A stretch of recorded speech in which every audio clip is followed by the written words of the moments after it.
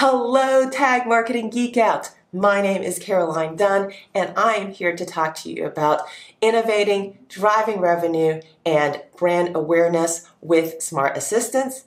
In this video, I'll present a case study where we created a new line of revenue for a traditionally in-person business. I'll talk about creating brand awareness and answer the most common questions that I get about smart assistants from other marketers.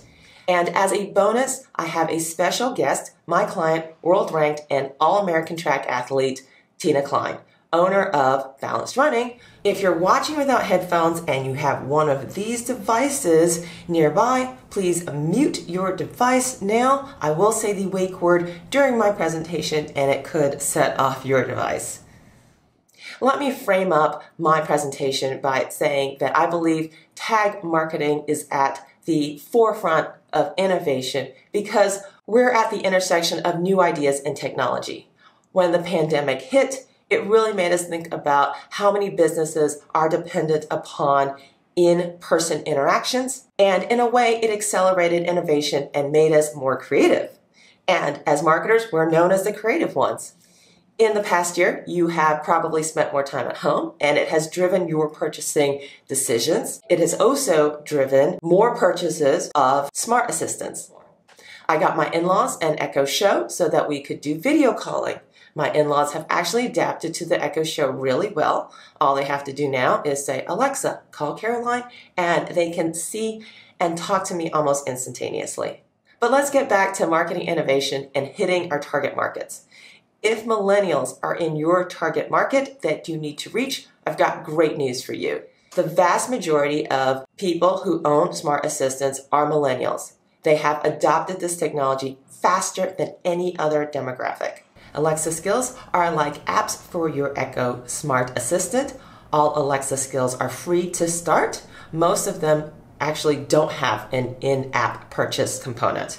But unlike smartphone apps, you don't have to download each app individually. For the most part, skills come pre-enabled on your device.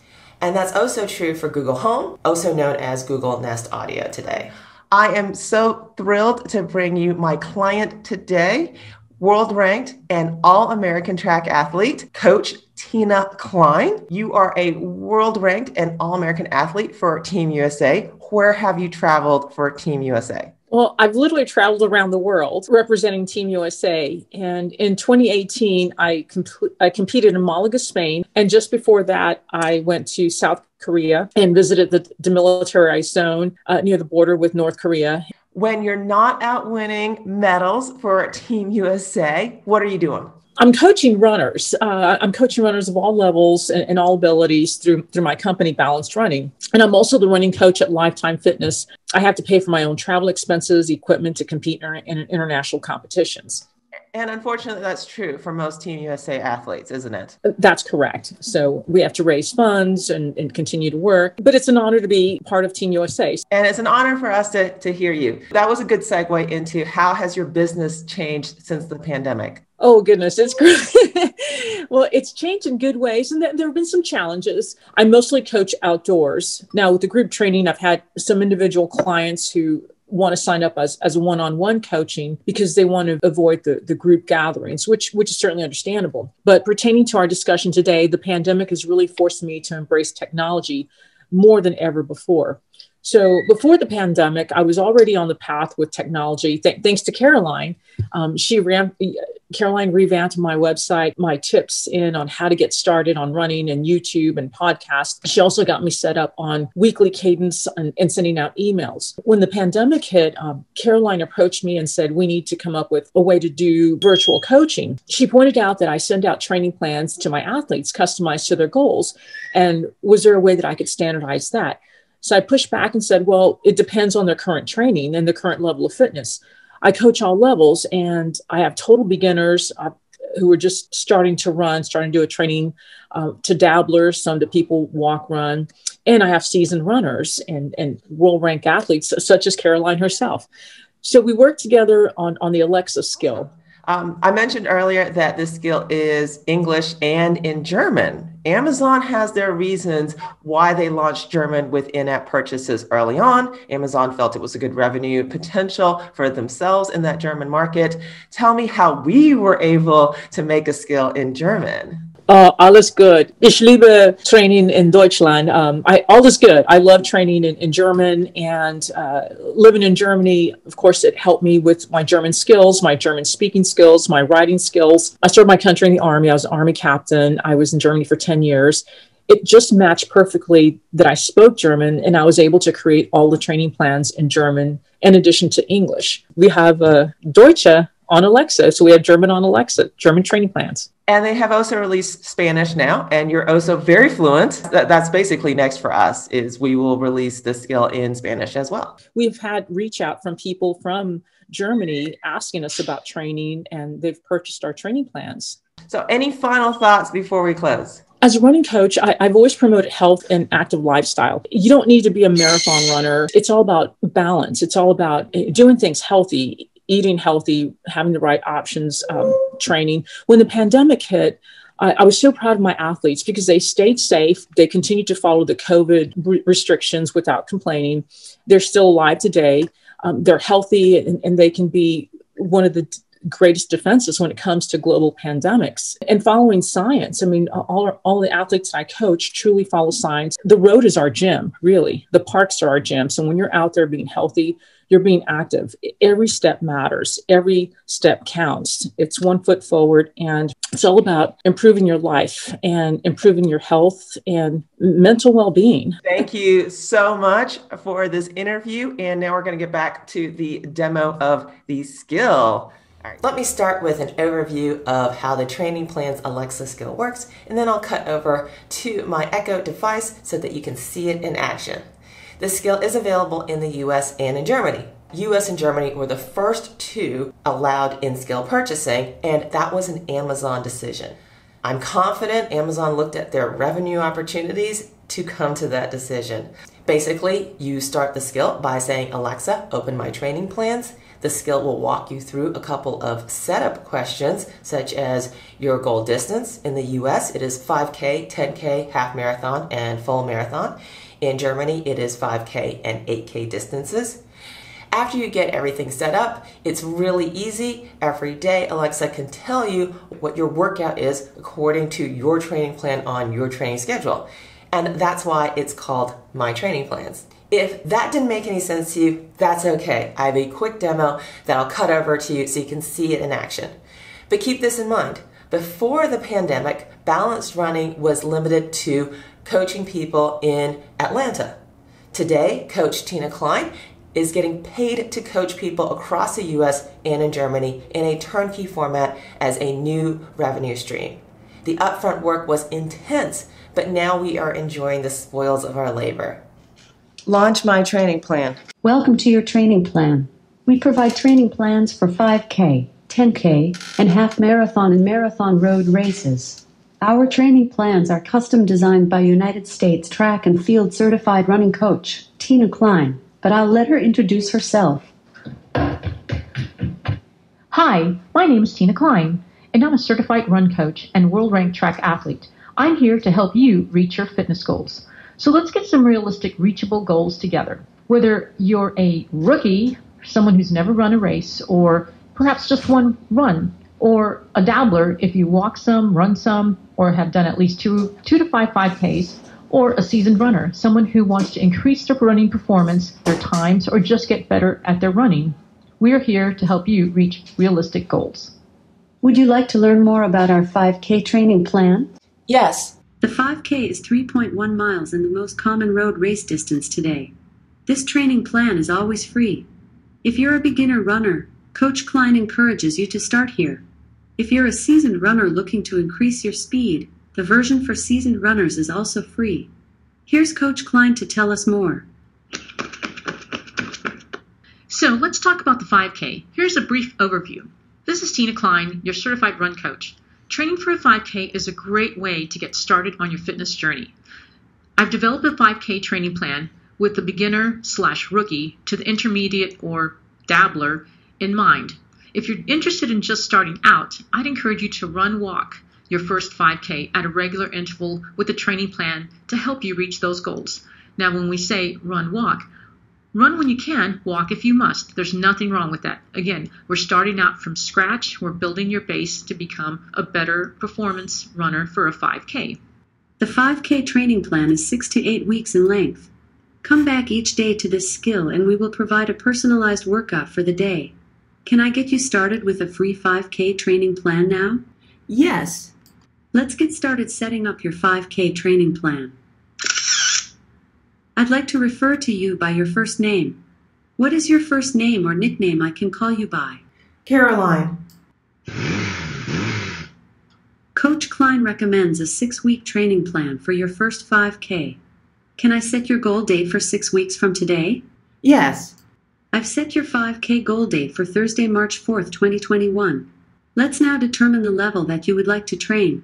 We offer three levels of training to custom fit your needs rookie, dabbler, and seasoned. A rookie is just getting started or brand new to running. A dabbler has completed a few races within the last year. And seasoned runner has completed at least five races this year and is seeking to improve their running efficiency. Are you a rookie, dabbler, or seasoned runner? Seasoned runner. Caroline. As a seasoned runner, your workout for today is 4 miles easy long run. Come back every day for a new workout, or come back after your workout to log your run.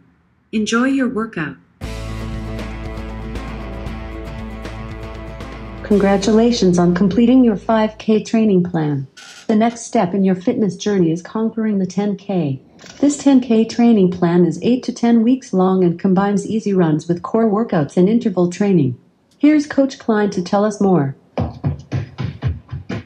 As you know, the 5K is a 3.1, the 10K is double that, 6.2 miles. And it's easy, it's fun, and it's a reachable goal, but you have to train smart.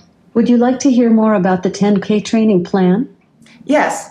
The 10K training plan was created by certified run coach Tina Klein and has been proven to help runners achieve their goals at all levels. Prime members save 19 cents. Without Prime, your price is 99 cents plus tax. Would you like to buy it? Yes. Great. You have successfully purchased 10K training plan. Thank you for your purchase. Let's get started.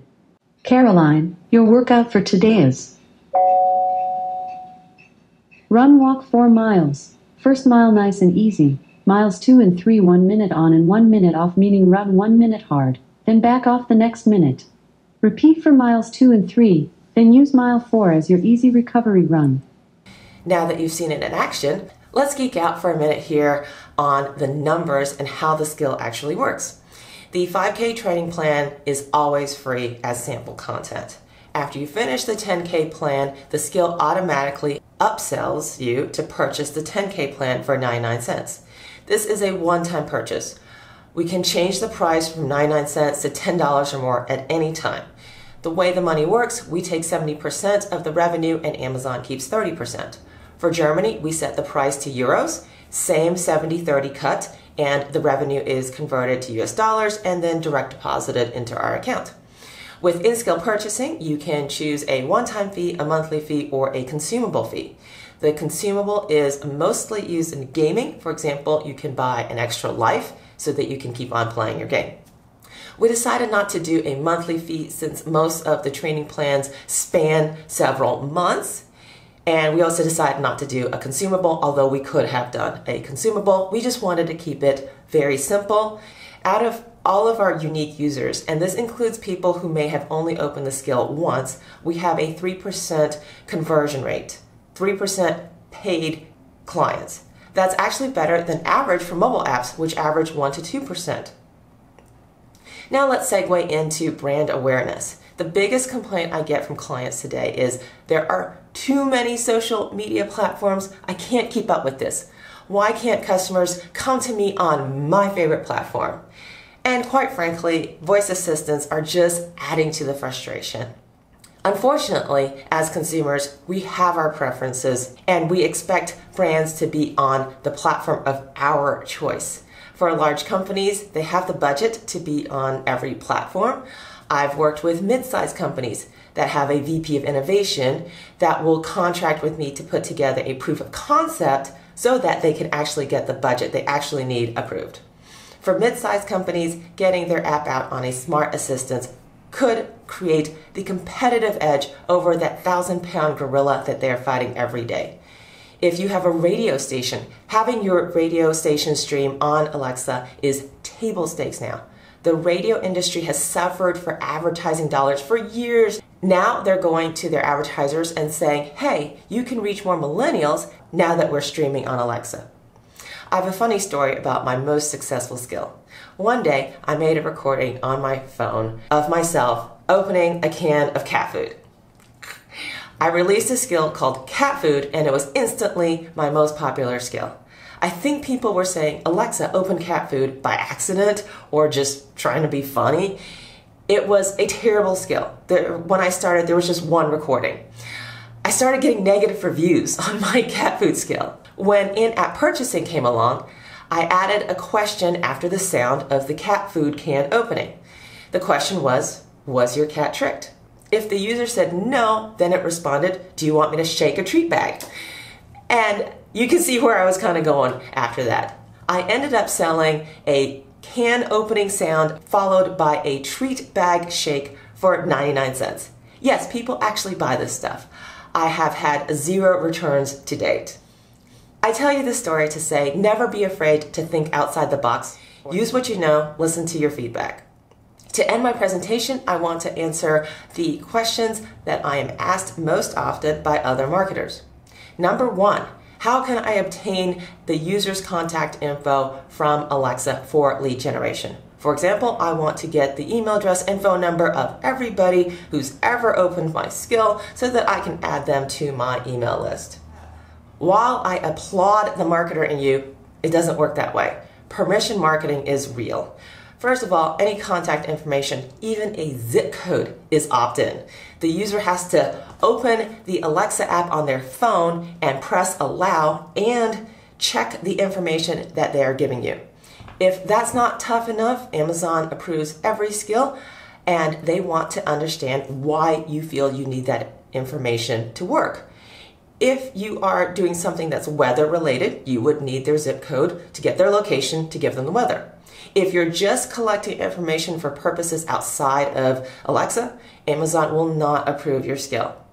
As a side note about Alexa and privacy, I have published two videos on protecting your privacy with Alexa in your home and one video on protecting your privacy with Google Home.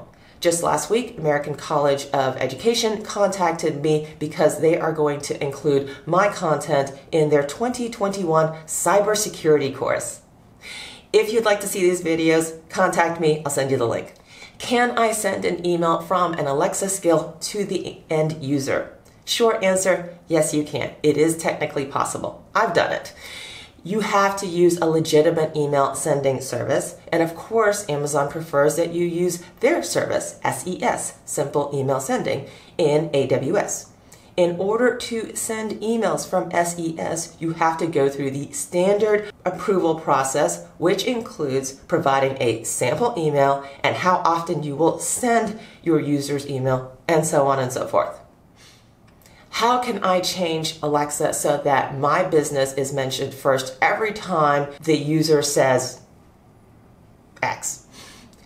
This is the equivalent of how do I become number one in Google search rankings?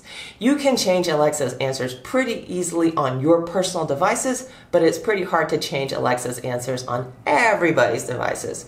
From the branding perspective, I recommend publishing a skill on Alexa in your company's name. It could be a really simple skill with your content. If Alexa doesn't understand a user's request, it will suggest a skill that most closely matches what they said. That could be your skill. And I think that's happened to me quite a few times. Thank you for watching my recorded presentation. I'm excited to listen to your questions and always feel free to contact me via social media. I am the Caroline Dunn on Twitter and Instagram. And speaking of Google, I am the number one Google search result for my own name, Caroline Dunn.